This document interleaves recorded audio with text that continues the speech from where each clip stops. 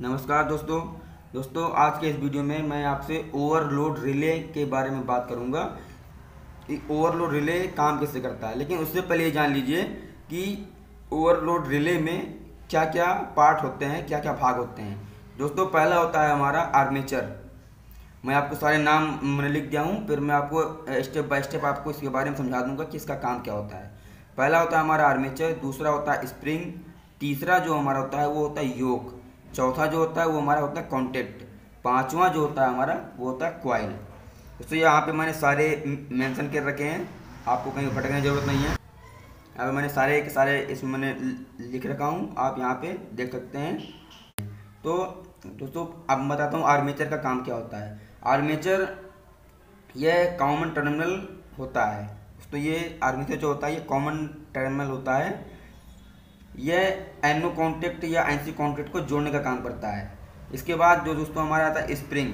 Spring जो होता है यह स्प्रिंग जब रिले बंद होती है तो आर्मेचर को एनसी कॉन्टेक्ट से जोड़ता है। एनसी कॉन्टेक्ट से जोड़ता है। या फिर यूँ कहें कि या फिर यूँ कहें कि, कि ये एनसी कॉन्ट्रैक्ट को खींचकर एनसी कॉन्ट्रैक्ट में से जोड़ता है। इसके बाद जो दोस्तों हमारा आता है योग। योग कॉइल के बाहरी हिस्सा होता है, जो कि ठोस होता है। ये इसके कॉइल का बाहरी हिस्सा होता है, जो जैसे आपने देखा होगा ई आई यू आकार के बने होते हैं। इसे हम योग बोलते हैं। इसके बाद आता है हमारा कॉन्टेक्ट कॉन्टेक्ट दोस्तों क्या होता है, जब हम कॉइल में सप्लाई देंगे तो ये हमारे कॉन्टेक्ट है। N C contact N C और एनओ कॉन्टेक्ट जब हमको मोटर ऑन करना होगा तो हम ये वाला प्रेस करेंगे एनओ तो ये हमारा तो यहाँ से हम जब कॉयल में पॉजिटिव देंगे फेस तो ये तुरंत ही हमारा कॉयल एक्टिव हो जाएगा और यहाँ से ये एनो कॉन्टेक्ट पे जुड़ जाएगा, जिससे हमारी मोटर चालू हो जाएगी। अगर हमको मोटर बंद करना है तो हम एनसी दबाएँगे, यानी स्टॉप पुश बटन तो फिर यहाँ से ये बंद हो जाएगा। मैंने आपसे पहले ही रिले का प्रैक्टिकल आपको बता चुका हूँ। प्रैक्टिकल की भाग क्या वर्किंग कैसे होती है करंट सेट करना रिले और उसकी ट्रिपिंग पॉइंट सब कुछ मैं आपको बता चुका हूँ। ये इसका डायग्राम के थ्रू में बता रहा था कि इसकी वर्किंग कैसी होती है। इसके बाद जो दोस्तों आता है coil coil basically 220 volt 440 volt 12 volt 24 volt DC और 12 वोल्ट डीसी चारों में आता है। जैसी हमको जहाँ पर ज़रूरत होती है, वो हम वहाँ पे प्रयोग करते हैं। बेसिकली जो 12 वोल्ट और 24 वोल्ट की रिले होती है, वो ग्लास रिले होती है। लेकिन जो यहाँ पे बात कर रहा हूँ मैं, वो 220 वोल्ट रिले की बात कर रहा हूँ। आप, ठीक है? 220 वोल्ट रिले की। जब दो, जब इसमें सप्लाई जाएगी 220 वोल्ट हम इसके एनसी कॉन्ट्रैक्ट से लेंगे तो ये तुरंत ही हमारी कॉइल जो है एक्टिव हो जाएगी और जो भी हम इसको कमांड देंगे एनो का एनो दबाएँगे तो हमारा ये मोटर चल जाएगा। अगर एनसी कमांड देंगे, यानी कि एनसी को दबाएँगे तो हमारा ये बंद हो जाएगा।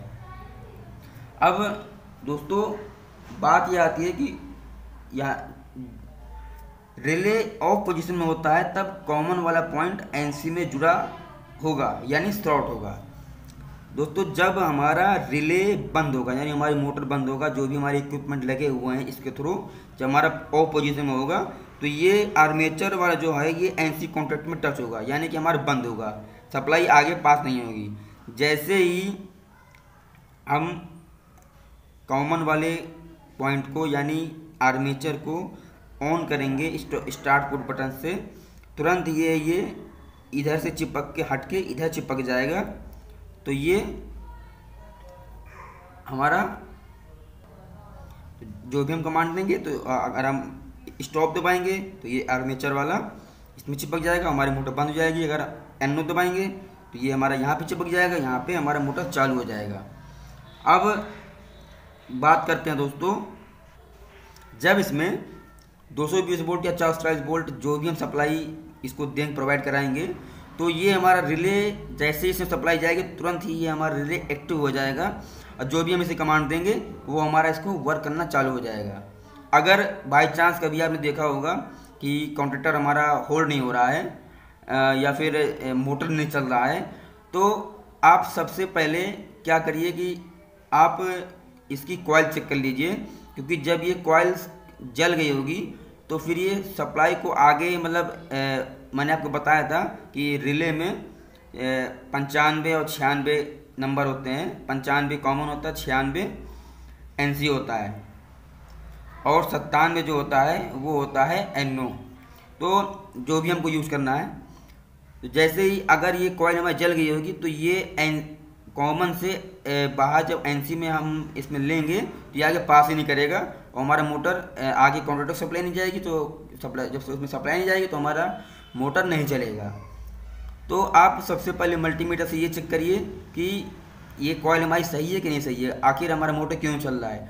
जब ये सही हो, तब आप कॉन्ट्रेक्टर पे चेक करें कि कॉन्ट्रेक्टर की कॉयल तो नहीं, कहीं जल गई है। अगर वो भी सही हो तो फिर आप मोटर पे जाइए, मोटर को चेक करिए, आपको ज़रूर कुछ फॉल्ट मिल जाएगा उसमें।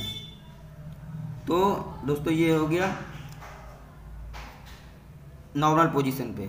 अगर, अब अगर इसमें सप्लाई नहीं है तो ये कॉयल हमारी नॉर्मल पोजीशन पे रहेगी, यानी कि बंद रहेगा। अब रिले कितने प्रकार के होते हैं? दोस्तों अगर मैं पोल के आधार पे बात करूँ तो ये दो पोल और तीन पोल। दोनों में आते हैं। दो पोल का प्रयोग, दोस्तों बेसिकली मैं आपको बता दूँ, जैसे जब डोमेस्टिक यूज़ के लिए होता है, जैसे मान लीजिए जो हमारा समर सेवियल होता है, उसके स्टार्टर में दो पोल के रिले लगे होते हैं, क्योंकि फेस है न्यूट्रल के लिए। और जो हमारा थ्री फेस का होता है, उसमें तीनों फेस आते हैं और ये तीन पोल का होता है। तीन पोल इनपुट और तीन पोल आउटपुट से हमको निकल जाएगा। अब दोस्तों, वोल्ट के आधार पर, अब अगर मैं आपसे वोल्ट के आधार पर बात करूँ तो यह बोल्ट के आधार पे तो यह 220 वोल्ट 440 वोल्ट 12 वोल्ट, दोस्तों ये हो गया हमारा सेक्शन एसी का, और 24 वोल्ट, ये हमारा सेक्शन हो गया डीसी का। रिले दोनों में आता है एसी और डीसी दोनों में आता है। जैसी जिसकी जहाँ पे ज़रूरत होती है उसी हिसाब से होती है। अब दोस्तों रिले कितने प्रकार के होते हैं, वो भी मैं आपको बता दूँ। रिले जो मतलब मुख्य मुख्य हैं, जो मेन है, वो मैं आपको बता देता हूँ कि रिले कितने प्रकार के होते हैं। रिले दोस्तों, पहला जो होता है, जो पहला होता है, वो मरकरी वो पहला होता है mercury relay M mercury relay relay दूसरा जो होता है ओवरलोड रिले इसके बाद जो तीसरा नंबर है मल्टी वोल्टेज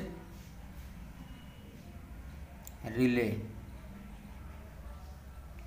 इसके बाद जो हमारा अगला है, वो है चौथा नंबर स्टैटिक रिले इसके बाद दोस्तों, जो हमारा अगला नंबर वो है machine tool relay machine tool relay machine tool relay तो दोस्तों मैं उम्मीद करता हूँ कि आपको ये वीडियो समझ में आ गया होगा कि रिले कैसे काम करता है। अगर समझ में आ गया हो तो चैनल को सब्सक्राइब करना ना भूलिएगा। सब्सक्राइब करने के बाद ऑल नोटिफिकेशन का बटन ज़रूर दबा दीजिएगा और एक लाइक भी कर दीजिएगा। तब तक दोस्तों, अगर कुछ छूट गया हो मुझसे बताना तो आप कमेंट करके बताइएगा। मैं आपको आगे उस अगली वीडियो में मैं आपको कवर कर दूँगा कि होता क्या। मैं आपको अलग से बता दूँगा। मैं आपको अलग से बता दूँगा।